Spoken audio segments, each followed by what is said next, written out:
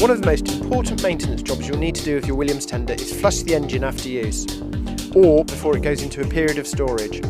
It's a quick and easy process and if you follow these simple steps, it will prolong the life of your engine. To do the freshwater flush, the boat will need to be out of the water and hooked up to a good freshwater supply. It's also a good idea to use a product like this one, which is recommended by the engine manufacturer and comes with a handy auto mix unit. So first check the water is turned off the flushing attachment is in the port footwell.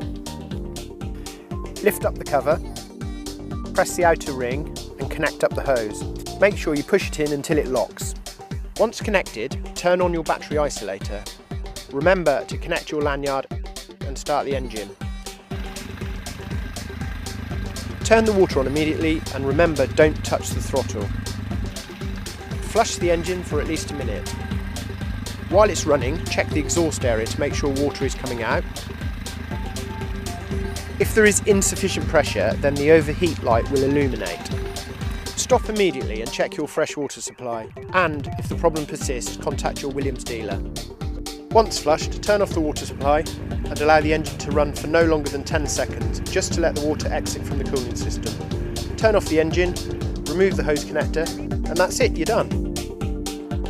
For more information on this or any other subject, contact us via phone or email and we'll be happy to help you.